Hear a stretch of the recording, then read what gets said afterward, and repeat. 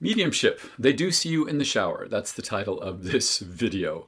Uh, the reason it came up, it, well, some specific reasons, but this question comes up in public demonstrations, live public demonstrations a lot. Uh, people want to know if they can see everything, if they know what's going on, can they and do they like watch us in the shower or when we're having sex? And I think sometimes they do. Uh, so, and I know I'm going to get flack for that, but let me explain. Relax.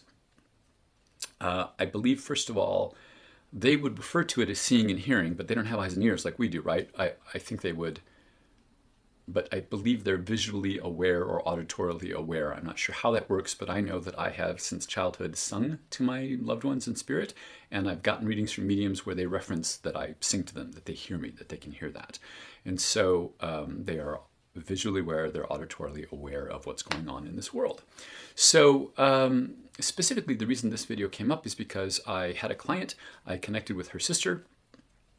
Um, the sister was referenced, she was doing this, you know, referencing this relationship that was over and and it was a good for you thing for the sister that was sitting in front of me like good good riddance good to be rid of him and uh, and she described a couple things about that person who's still here in that relationship. And the sister said, yeah, that was someone I was dating right after my sister died. And then I was seeing I have in my kitchen a mostly empty bottle of honey. So when I use it, I put it in the microwave for a few seconds, and that makes it drip really easily as opposed to waiting for it to come out of the bottle. And I said, uh, and so I said, I'm honey. I'm seeing uh, that, and also various jars of honey that I have from friends. I, I like honey. She said, I understand the honey reference, and we moved on. And then at the end of the reading, she was really black. She was really nice. She said, I have to tell you, that guy that you got that my sister was like good for me for dumping, he used to lick honey off of me. That's something he liked to do. And so my sister referenced that, which means she was watching that or she saw that.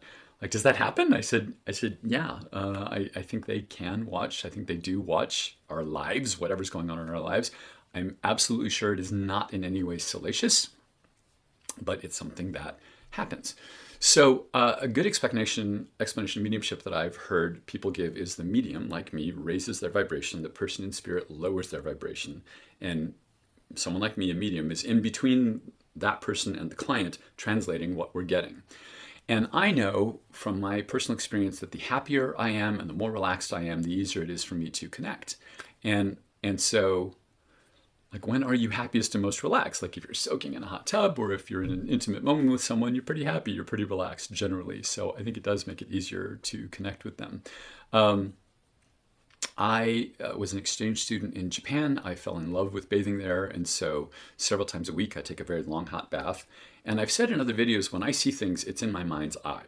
Uh, it's rare, and sometimes when I hear things, it's mostly in my mind's ear, but I will actually hear things shouted at a distance sometimes. So uh, three different times in the last year, year and a half, I've been relaxing in a very hot, warm tub, and I'm just so comfortable and relaxed and slightly dozing off. And suddenly I can smell with my nose, actually smell my mother's hairspray and perfume. And so I've uh, and so I've said, I, you know, I'm in the tub. Go away. Uh, playfully, I've said that, and um, the feeling I get back is this humorous, there's a humorous vibe, and there's, uh, my mother called my brothers and I her babies. She'd say, my baby's this or my baby's that. And I get that, you know, grinning sort of my baby's thing. It's, it's completely non sexual and very loving. Um, I have to say, I don't believe that they think, I don't think of this as an invasion of privacy, and I don't think they think of it as an invasion of privacy because I believe and I've experienced that they are with us from the moment of birth. And it's a different kind of relationship once they're passed. We have a different kind of relationship with them, uh, with all people in spirit. And so uh, it's kind of like if a one year old were able to say, close your eyes while you're changing my diaper. Like it's kind of like that. Like you change it anyway, right? It's they have a broader perspective, they have a greater perception of things. And so um, in a completely non-salacious, non-sexual way, I do believe they can see everything, and I believe sometimes they do see everything, uh, even intimate moments. And it is, but it's not. But their experience of that wouldn't be what our experience would be peeping through a hole into someone's room. It's just not like that. But I do think they're constantly with us, or almost constantly with us, and uh, yeah, they can watch.